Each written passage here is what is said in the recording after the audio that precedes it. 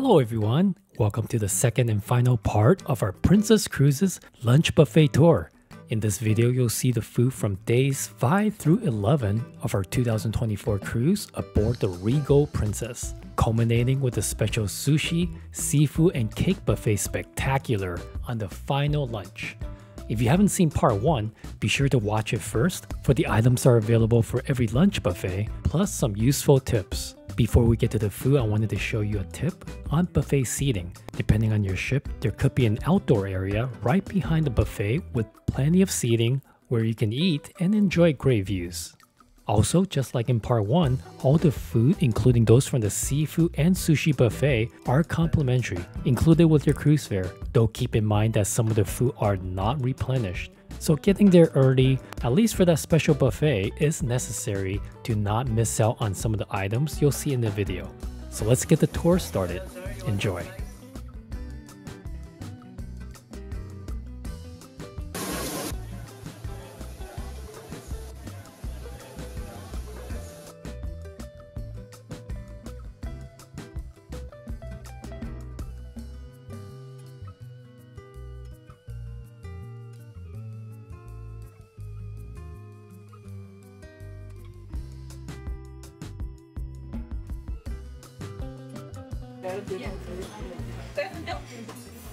So this is the uh, Filipino spaghetti with uh, hot dogs. That's interesting.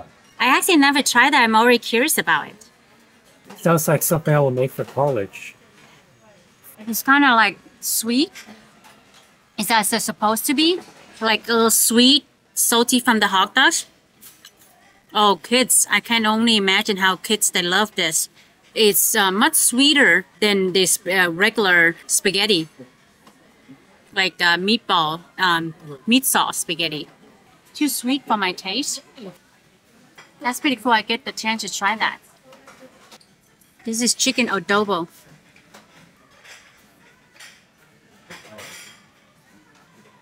Mmm. That'd be so good. Over the rice, the sauce. I can taste. Oh yeah, that's really good. That's a nice uh, flavor there. I, I could be wrong, but I can definitely taste soy sauce, oyster sauce maybe, fish sauce. But it's definitely my kind of flavor that I like. I also got pork belly. Oh, wow. Just pure fat. Yeah, I guess. But let's try on this end here. There's um, Oh, yeah. less fat. Yeah. And I, I never eat this stuff at home, so that looks pretty there. See?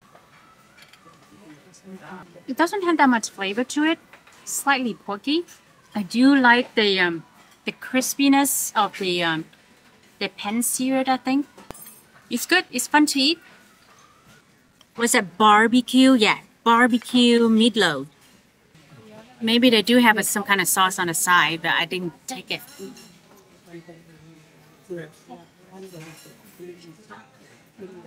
Mm. I actually liked it. A little bit leaning towards like sausagey, like sausage texture. Not too salty. I like that. The flavor is good. I like that. And it's salmon here. Last one. Salmon coulibiac. Not bad. I like the pastry. Crispy outside. Just slightly dry and a little bit overcooked, that's all. But otherwise, it's actually pretty decent. The cream sauce, then that should balance out the, the slight dryness from the, the salmon. That's actually pretty good.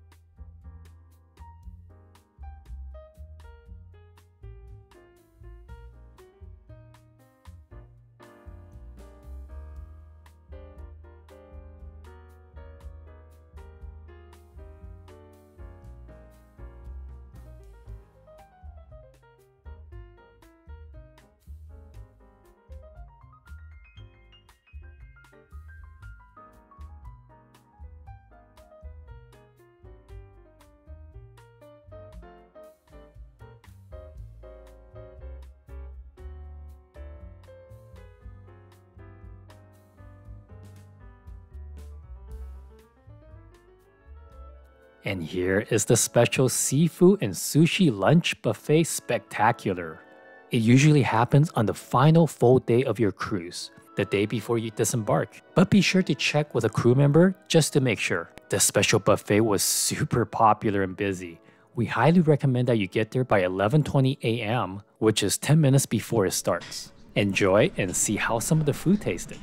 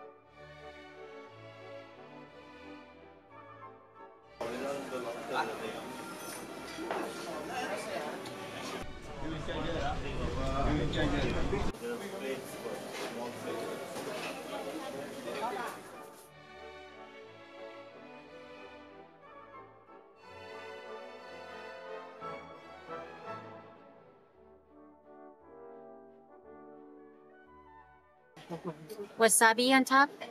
Then some soy sauce.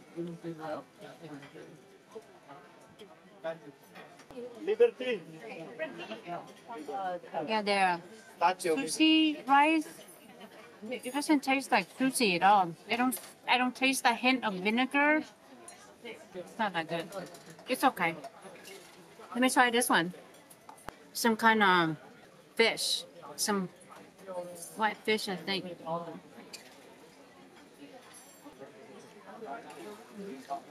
Um, just don't have high expectation. That's the fish roll right there. the rice is, is very mild, so I definitely need to use the soy sauce for sure. Nice pop pop, but it's not that much flavor to it. This is a funky one. I don't know. Um, there's one like green, red. This is yellow. It's I think it's uh, food coloring. Some fish eggs There's salmon. It's kind of like um, smoked salmon. California roll. Oh yeah, Kind of like that, I think. But it's more like with salmon instead of crab. like a Philadelphia roll kind of. Maybe. Cream cheese too. Yeah, it's true. Yeah, that's right. This one is is a tuna. I didn't get a chance to catch the name of the fish. I don't think they label them. No. Oh, okay. So let me try that. It's not tuna. Yeah. Some kind of fish. This egg one looks pretty though. Look at that. All right. Just ignore the uh, the seaweed salad. Mm. The egg one is actually pretty good. I like the salmon one here, kind of like sashimi.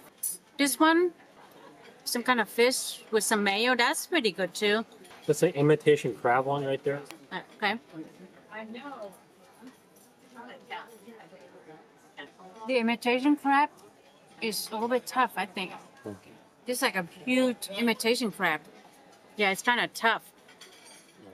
Yeah, it's very tough. The egg one's good. The salmon here is good. These are somewhat okay. Yeah, just don't have high expectation. Definitely a very big crowd still in line. It's at least what like a 20 minute wait to get to the sushi.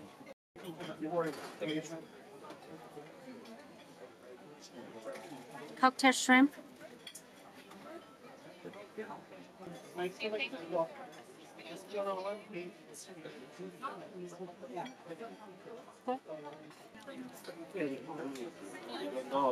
at that. This one. can do it without knife. Shell is pretty tough, so be careful when you open this. You don't cut yourself. So you have to do half, break them half. Or at least for me, I can't break them in whole like uh, like crawfish. That sounds very tough. It is very tough. Yeah. It's almost as tough as like lobster shell. This one a bit overcooked, I think. Yeah, you don't want to eat this part, The guts. the guts or the uh, the poo poo, you know. the undesirable So that I just go stuff, gray stuff. and we. Yeah. Now I hear what this is telling me. You can eat it with. Let me try with the cocktail sauce. Actually, they overcook it. The meat is still somewhat. I mean, I can't imagine how sweet the meat will be and delicious if they cook it like just right, not overcooked because it's like way overcooked. I'm trying the um, mussels. The mussels, you don't want the the hairy part here. This hairy part. Oh, jeez. Yeah, you don't want to eat that. It's good. Let me try another one. See if it's. Care- Gotta be careful. Yeah. Look, look how sharp that is. Yeah. You gotta be careful.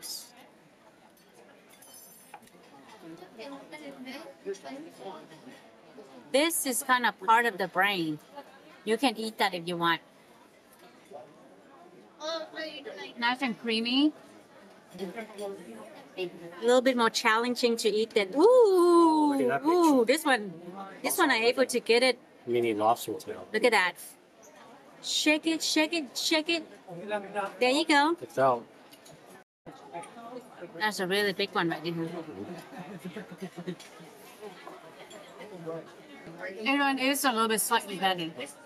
So if you try to look for something like darker red, maybe it's um, it's not like complete like cook it too long. That this these guys that were- they are red, they turn more like orangey or like light pink even. That's that's a sign of like really really overcooked.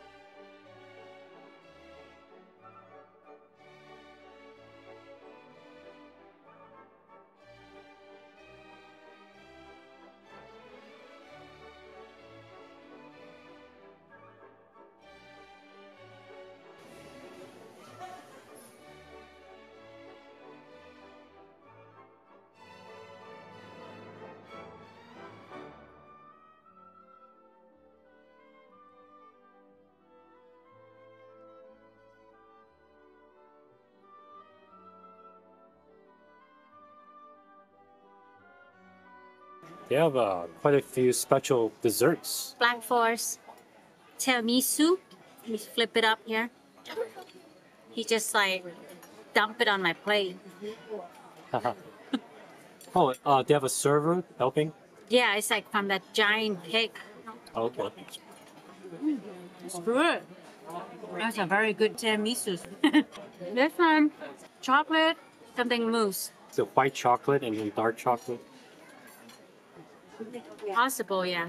This one is the white chocolate mousse. I don't know why I'm never really into mousse. There's a white chocolate. Maybe it'll convince me more with the white chocolate. This one looks pretty. That looks fancy. Meringue on the very top. White chocolate mousse, I think, and then mango or something on the bottom. Yeah, it's mango flavor. That's actually not bad. That's actually pretty good. Yeah, the dessert is actually bad. My the tiramisu is still my favorite though. Black Forest cake. It's not bad actually, but the tiramisu cake here, that's that's the winner right here. That's so good. And that concludes our 2024 coverage of Princess Cruises lunch buffet food. Overall, we thought it was very good. There was a lot of selection and certainly more seafood than the other major cruise lines we've been on. And best of all, Princess is still the only mainstream cruise line that will consistently take your drinks order, not just specialty drinks orders, but also the complimentary ones like hot tea, ice water, iced tea, and coffee to your liking. Other cruise lines may do it here and there, but only Princess offers this level of consistent service at the buffet. We do, however, have a few quibbles with this buffet.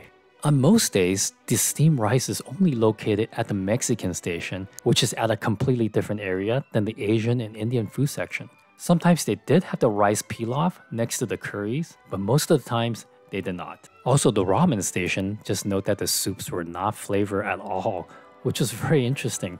So you have to add soy sauce or other sauces or oils to your liking. We also thought the common utensils, like spoons and tongues, should have been changed out more often. Also, those tableside utensils should be better checked for cleanliness, as we encounter several dirty or at least dirty looking ones. Plus, empty plates and bowls guests help themselves to were frequently not hot or even warm to the touch. Many other cruise lines had them nice and toasty, which helped reduce the spread of germs. So those were our thoughts about the buffet. But what do you think? We enjoy reading your comments, and please do give the video a thumbs up and subscribe to our channel. Stay tuned for a lot more content from our 2024 Princess Cruise, especially for food. Thank you very much, happy cruising, and we'll see you soon in another video.